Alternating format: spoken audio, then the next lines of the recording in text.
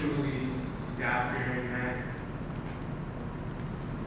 And when it comes to taking someone's life, I don't care if you are in the army or you're a police officer or someone that just has a, or, or, or legal, legally able to take a life. Um, it's only God has that power. Only God has that power.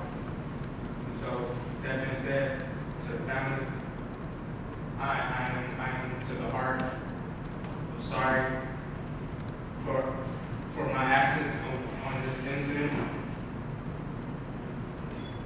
I pray that, that they have mercy and put all that hatred aside to put God in and to see and to know that what happened was a situation that I was in, I, I, was, I, I was really in control of, like, at, at the time of my thoughts. My life. My two children's lives turned upside down. I a son that's trying to kill himself because you killed his brother.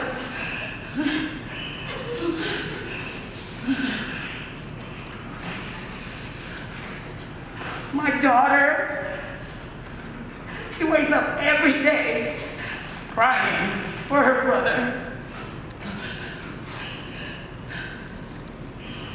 My, my life, my, all my family's life has just been dead, honey. You killed all of us. You killed me inside.